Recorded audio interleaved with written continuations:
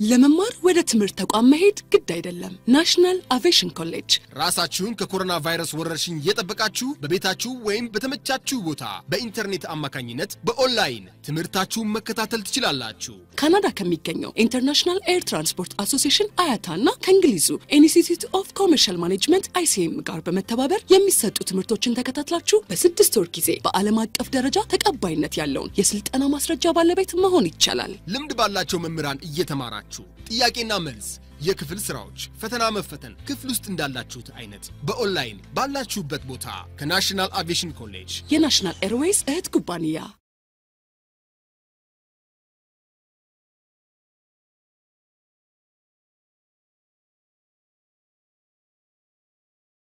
ሄሎ ጋይስ ናይስ ቱ ሚት ዩ ናይስ ቱ ሚት ዩ አጌን እንዴት ናችሁ እንደምን አለህ ዶክተር? ሰላም ነው ሰላም ነው ዶክተር when i see the list of names that uh, uh, was sent by the coordinators when i see your names it's really another remarkable time that you can spend. Definitely i'm sure at least you will not waste your time with me. You i i, I hope you will get something yeah? It- Definitely, doctor. is- yeah this is a master's class and in a master's class you know uh, we are not just uh, uh, involved in it just in, in, in a small feeding manner.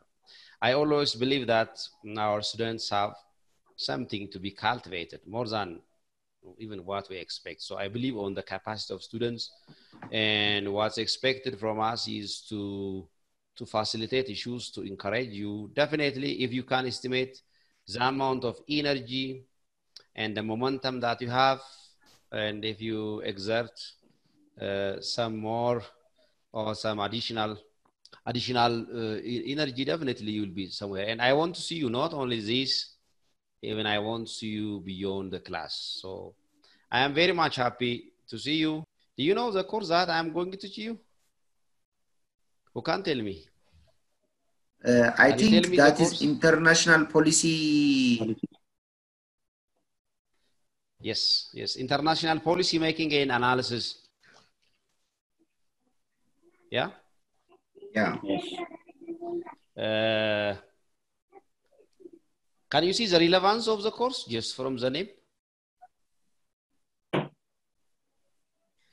አው አለማችን ዳይናሚክ ነች። እኛ ደግሞ የምንማረው ኢንተርናሽናል ትሬድ ኤንድ ኢኮኖሚክስ ስለሆነ እ፣ የኛ የዚህን ትምህርት መርጦ መማር ወደፊት ለሚኖረን አገራዊም ሆነ አንዳንድ ተሳትፎች ላይ ከፖሊሲ ሜኪንግ አንጻር እንዴት ነው ነገሮችን ኢንካውንተር የምናደርገው ከሚል እሳቤ የመነጨ ይመስለኛል ይህ ኮርስ። ዴፊኒትሊ ዴፊኒትሊ አይ ስትሮንግሊ አፕሪሺየት ባይ ዘ ወይ ዘ ሴትፕስ ኤንድ ኮሚትመንትስ ፍሮም ናሽናል አቪዬሽን ኮሌጅ ሪሊ ዚስ ታይም it almost becomes a pioneer in addressing students even at distance. So I really appreciated them and really, because this time, on one hand, the policy uh, issue is there, the legal issues are there by respecting the laws of the country on this issue and then uh, addressing the interests of students is really one great achievement. So you are right, uh. Uh, as international students, uh, one of the issue to act internationally is to have an internationally accepted mode of conduct or uh, many call it the mo- international modus operandi. This international modus operandi should be governed in a commonly understandable manner. Uh, this commonly understandable manner or guideline uh, should be what we call it the foreign policy. Some, sometimes we call it the international policy making. So in this course, what we are going to learn is uh, foreign policy making is one, so I don't want to finish just the course by saying foreign policy making is blah blah this this this. No, no, that that's not the side. The time. So how do we analyze? You know, world does a lot of or nations or states have their own foreign policy issues, matters, pressing matters even these days.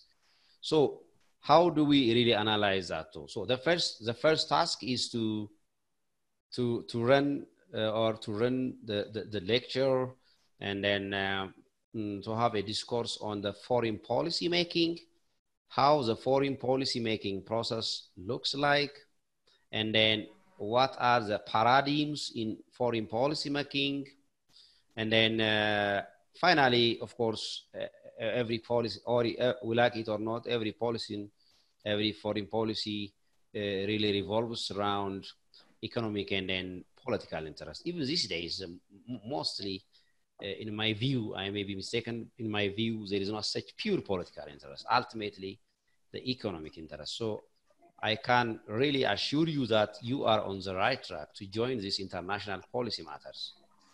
You can see that everything is targeting economic matters, economic issues. So, so uh, uh, this is what I wanted to say. So, foreign policy making and analysis. Uh, it is a two credit hour course. I hope all of you know me, so I will save the time to to explain about me. But it will be good if I if I can rehearse what you are doing, where you are doing, and like that. Don't worry about where you are and then uh, what you are. Just I want to really remind you. I know uh, most of you, uh, so I, we can save our time on that regard. So welcome to the course foreign policy making and analysis. Remember here, my colleagues, foreign policy making, foreign policy making, you know, the, the crafting of the foreign policy processes, the crafting process of foreign policy issues, and finally, our expectation as a college, you will be capable enough in providing brief analysis of different foreign policy matters. Of course, we are focusing mainly on marketing issues. By the way, let me ask you one brain, brainstorming issue. There are a lot of issues, especially in terms of marketing, because uh, one of our chapter in this course is a, a marketing policy. Uh, let me ask you one thing, because it will help me to maybe reshape the material and the lecture in the upcoming events. Have you learned about like trade barriers, trade barrier issues? Yeah. Like the effects of quota, the effects of uh, tax Yeah, we learned. Yeah, we learned. You have already learned it. That's very Yes. nice. That's very nice. Uh, so I will share you the screen. You can manage it. I hope you can see it. Yeah.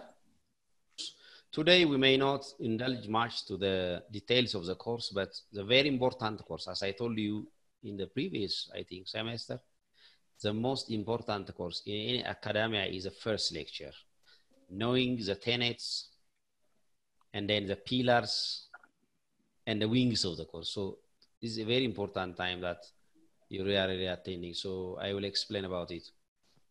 Uh, as I said, it this course deals with some introductory aspects of foreign policy. So you can read that one. At the end, you are really expected to, to have the following outcomes. You will understand the process of foreign policy making, as I said it before. What are the process? When you talk about the process, it means there are some steps. When you talk about some steps, there are some key issues, key factors that need to be considered, key stakeholders that need to be engaged, and then the role of media. Well, all we will say a lot of things on this regard. The third thing, you are also expected to to have a view on foreign policy analysis, not only analysis.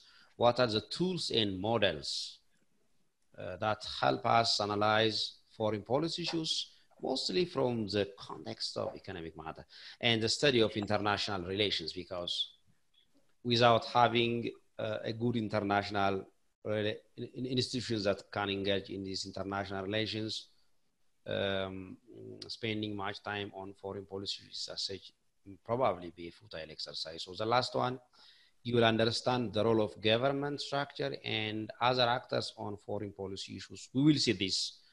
I have really nice materials and thanks for National Aviation College, which also assisted us to acquire these materials. Some of the materials are already ready here. I will share you. And we'll see that. So when we come to the detailed contents of the course, uh, I believe the course has eight chapters. Don't worry, just it is to the point. I will I will manage it. The first one is uh, the foreign introductory part. Uh, introduction, we'll see the foreign policy and analysis. Why? Why we do that?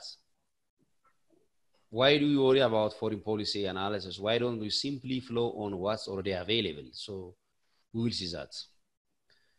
These days, previously, when people teach foreign policy, they were simply dropping here and there, and then they say or they they mm, they really narrate the process. But we will we will use a different approach, the comparative.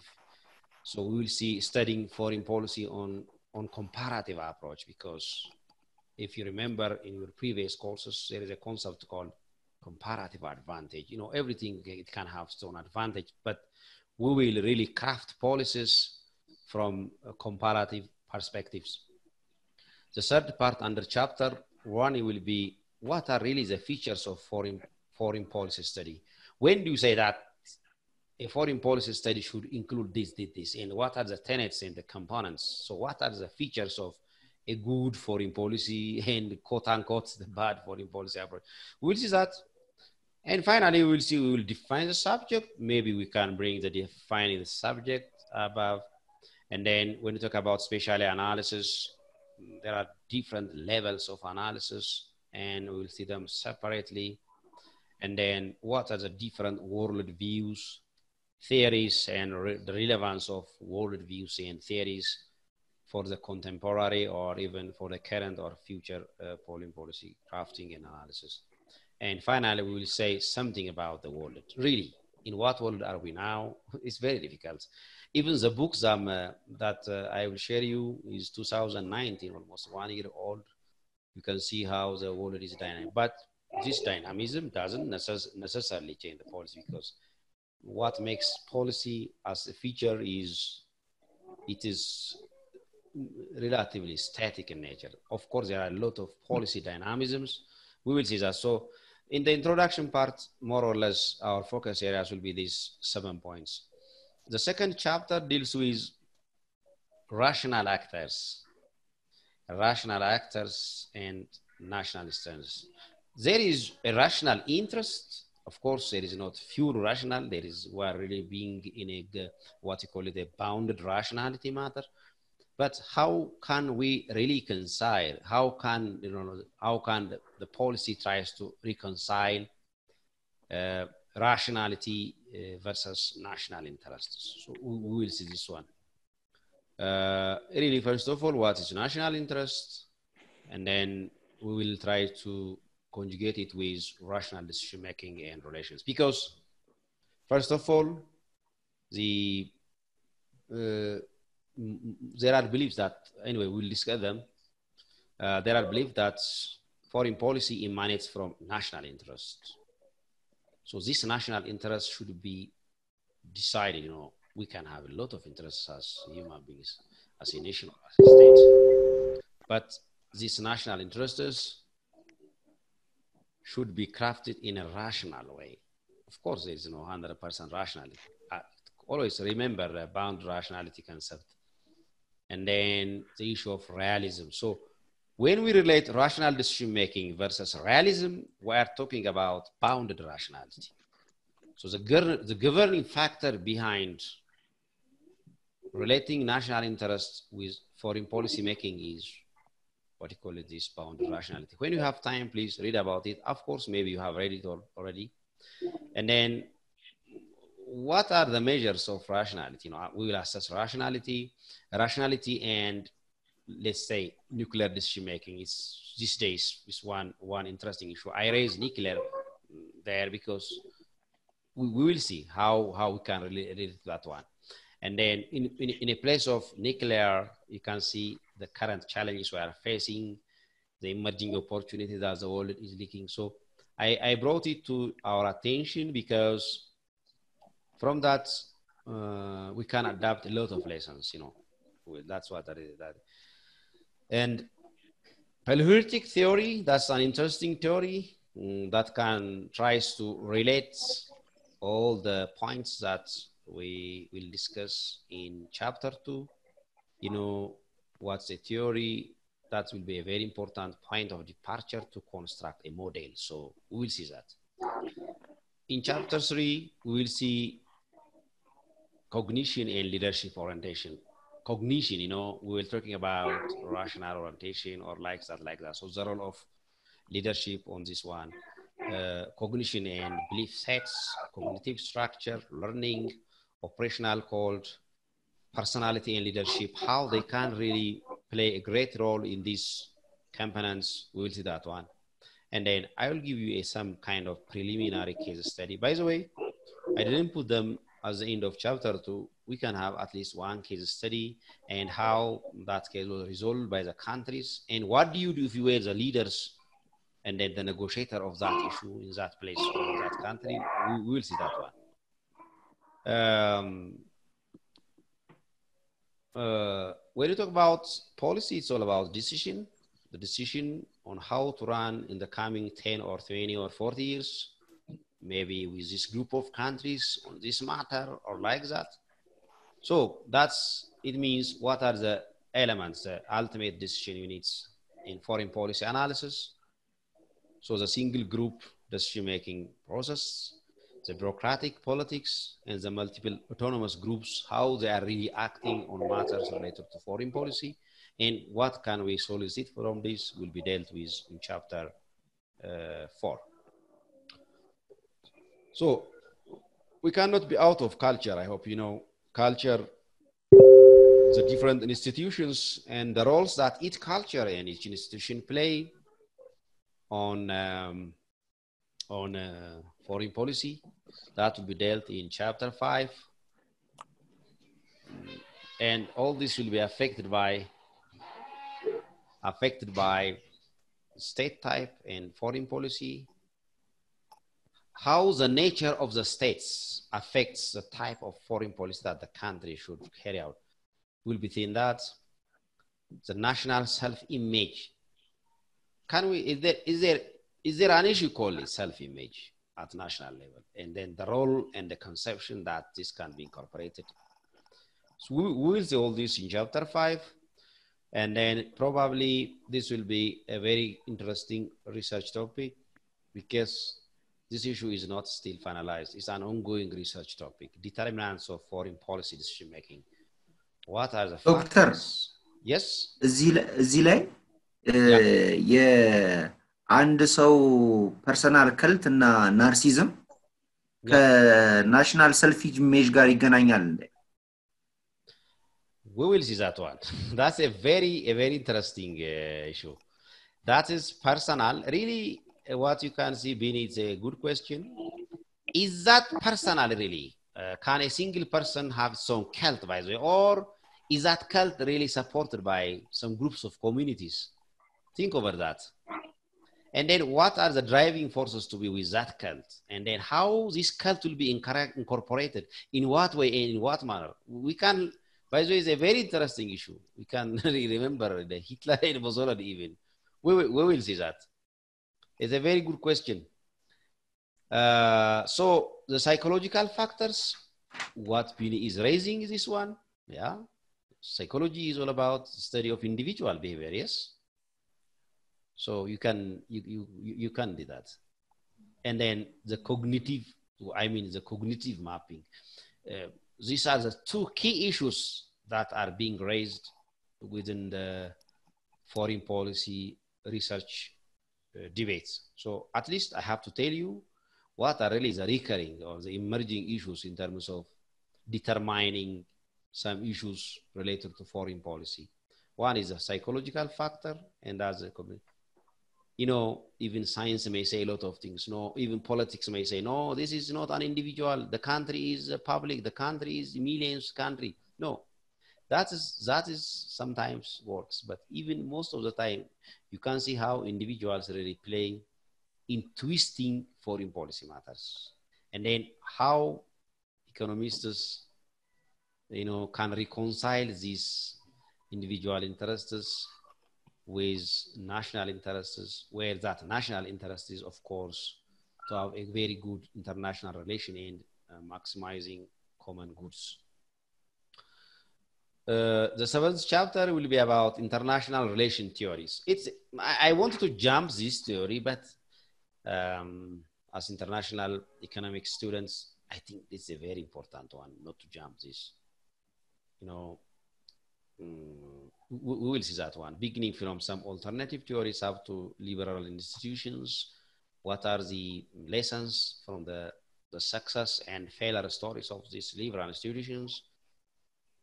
Even there is a, a term called neo-realism. So what's that? What's that? So how do we see the international system level of analysis? We, we will see that. And finally, as I said, it's economic is the key issue surrounded by a lot of matters related to international foreign policy. So which is a marketing foreign policy or uh, directly you can say the economic foreign policy. Uh, definitely, we have a lot of nice examples. Maybe I may be influenced by the European foreign policy, especially the European Union issues. But this European Union, even for the sugar, even for cabbage, even for individual, you know, even just commodity level policies are there. Even the subsidy policy related to cabbage, it can be related to milk. I hope you, ha- you have already come across on this on, on these issues and how we are dealing with. So assume that you are a consultant to some of the investors in Ethiopia, where now the government is in a serious need. Really, are they really good consultants? So understanding how some destination areas of our commodities react in terms of their policy is very important one. So understanding, so even I say it marketing, you can say economic, I don't know, economic foreign policy or foreign policy in relation to economic matters. So if you are political science students, definitely the issues and the stories that we are dealing with this course is totally different because I taught these two courses in two parts. One is part one and part two. Uh, one is just an introduction. Then after that, those who are really focusing on politics, they will really specialize on that. Others who are really specialized on economic interests, which is also my, my interest, we are also looking at this one. So we have a lot of cases in the middle. It may be a big, big for you. You may assume, don't worry, I will have a very concise notes. And then detailed reading materials and I will show you all these materials in electronic copies. I use normally state of the art teaching materials. Just all the materials are good, but we don't want to use like 2007, 2000. We use 2009 in 20 like that. You know, things are really changing because you will get most of them in 2009 teaching material. So I will, I will, I will do that. Uh, especially in, in chapter 8, the marketing effects of huh, or the nexus between marketing and foreign policy, even how can we frame the four piece or the five piece, the products, the price, you know, and then we will see the, uh, the media effects. You, you can see that the media is these days even beyond what, what, what many people or many writers call it. It's really another state state with the state. The media really plays a great role. So teaching and learning methods, the teaching and learning methods for this, this, this material is, I said it classroom lecture. Is that, do you agree? Definitely. Are you in classroom? Okay, I'm just, I'm just in it. Your, you are in your classroom. Anyway, yeah. um, really, start to COVID, we can say like this classroom, that we are not in a classroom. So make sure that we are out of the classroom. So online lectures, you know, I'm not afraid to correct my errors in front of my students. So online lectures, uh, we can say somehow, even you have group assignments, uh, presentations, discussions, and a number of real-world cases, I will share you. I hope we will enjoy it. I will not only, I will not only, I will not be the one, the, uh, the one and the only one who will talk on this course. Every one of you will have his own chance. And I have also an interest to hear you on this, on this matter.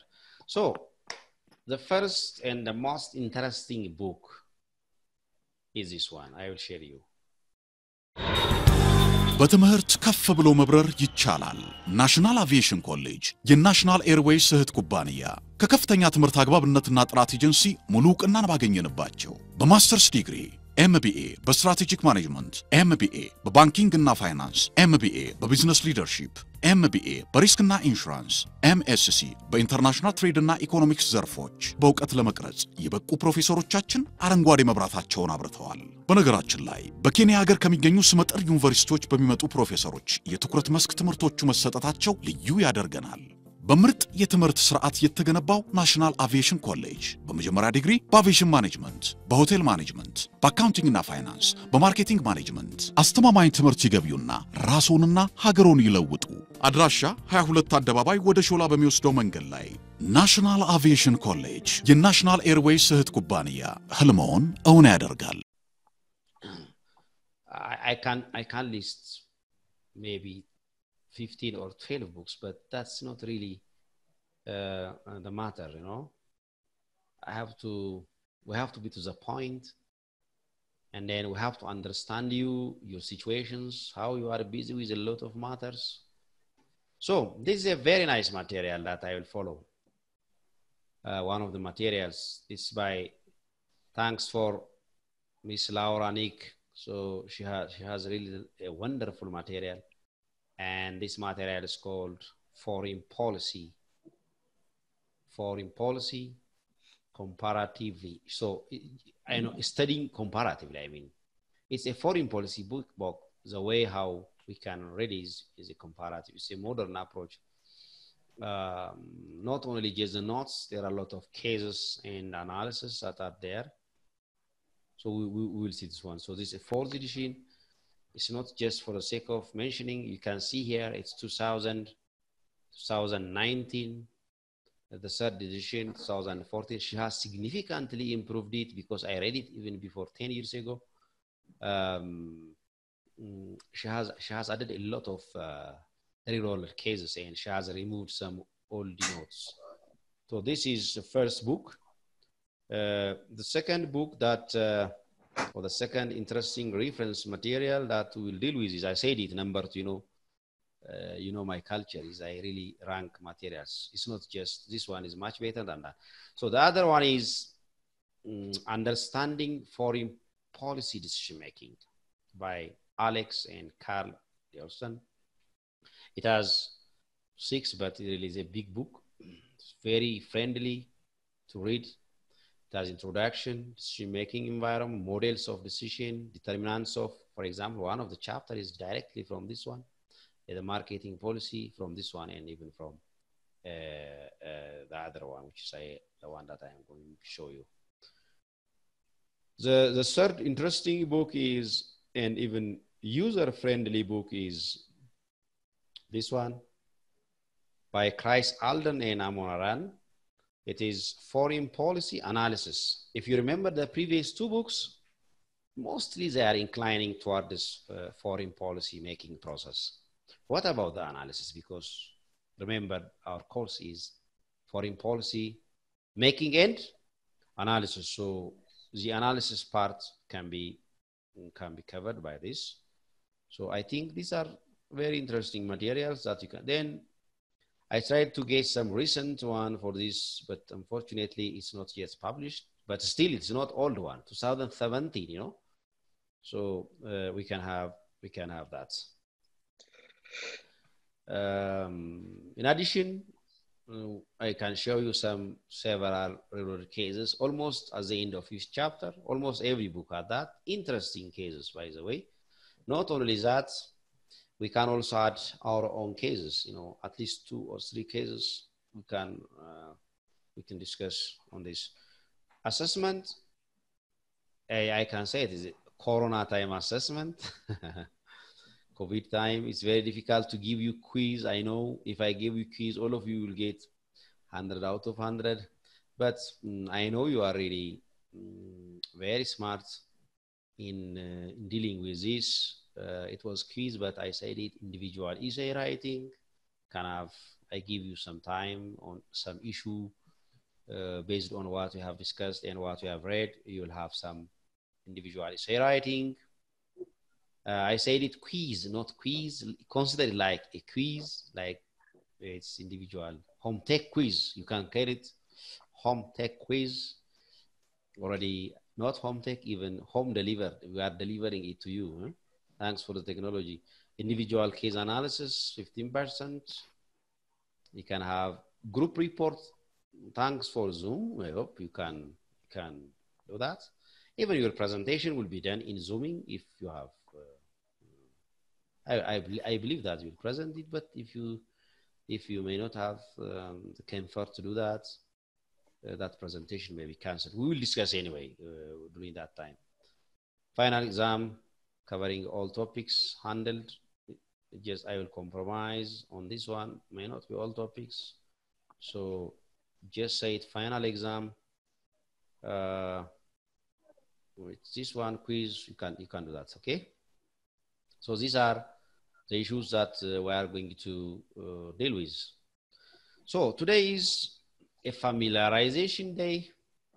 And then I hope uh, you may not expect detailed lectures because there are some colleagues, I can see only three. I know that you will not be happy to attend by missing your nice colleagues also.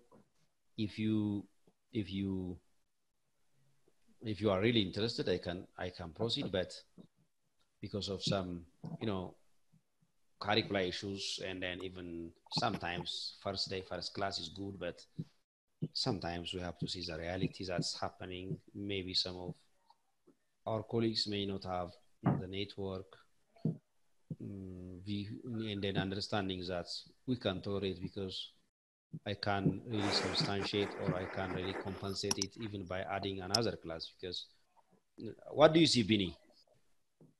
Definitely, I agree with you, Doctor. Uh, in order to grandize or in order to minimize such inconvenience, uh, Yeah. you have to finalize the curricular issue and deliver it in a nice way uh, at the next time.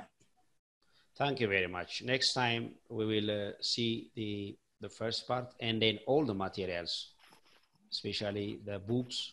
Uh, I can share you with the with this with Telegram or with this one. I can also upload it uh, on the desktop. Don't worry. Uh, Brooke has already gave me all your address. It will not be tomorrow. I will send you an email containing some issues. It's really uh, interesting one and we can uh, go through smoothly. So remember, this is a master's class. It's not just uh, a one a, a, a one direction, you know, a, a, a unitary lecture. I mean, flowing ideas just from the preacher and going to. I also expect from you, and then in a more and in a nice interactive way, uh, we can finalize. And if you have anything that you can comment or criticize me, I'm always ready. Remember, I don't I don't feel criticism. I really learn from you also. You have to know this. So it will also be a blessing for um, our college, for National Aviation College, to really get feedbacks from our students and then incorporate this, if possible, just on the spot. If not, just on the on, on the next lecture. If not, on the next chapter. If not, on the next batch. So, um, welcome for all your comments. See it anyway. This is a curriculum that's already designed by the college. You may see that these parts of the course are really kind of repetition. So, Raja, can you do this in this way instead? If you say that, it's really the room is open, uh, colleagues.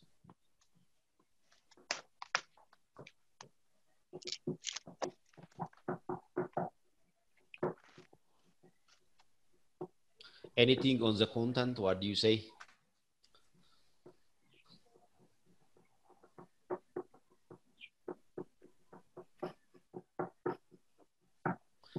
Anything that we expect from the course but missed in the chapters?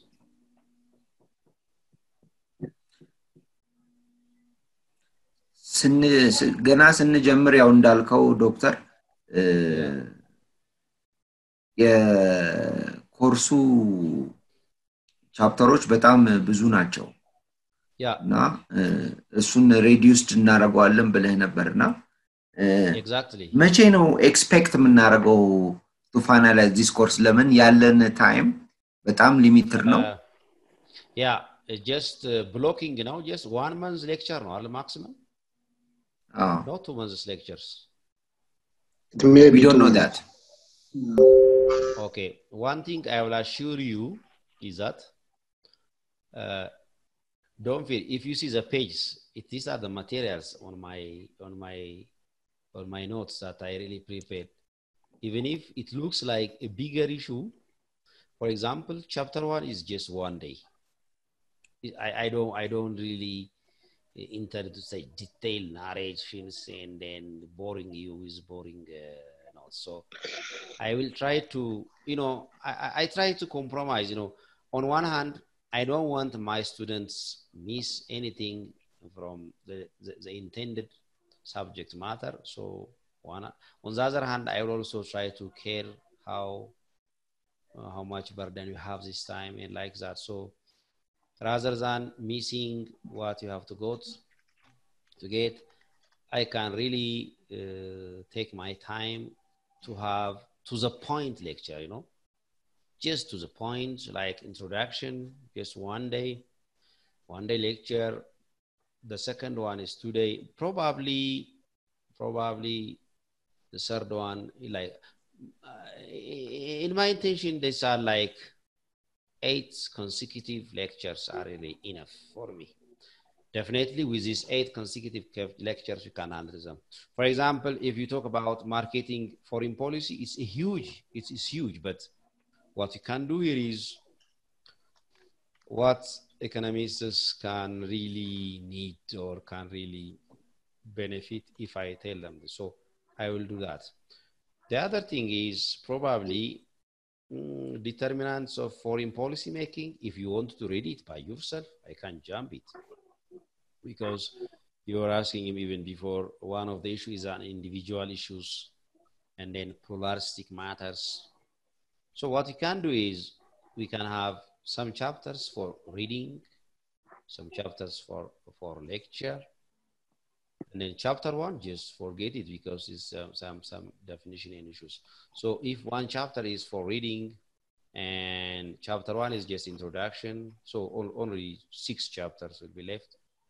Anyway we will not be forced to do all this um, as far as the the uh, coverage is concerned. At least six chapters are really enough but remember national aviation never compromises on quality issues we have to deliver what we have for our students you know uh, so at least uh, I can share you the material on those chapters that we will not cover.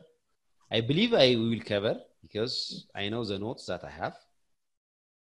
Uh, but in case if there are some issues that uh, deter us not to cover some of the chapters, I will give you reading materials and that will not be actually considered, uh, of course, for uh, assessment. Okay.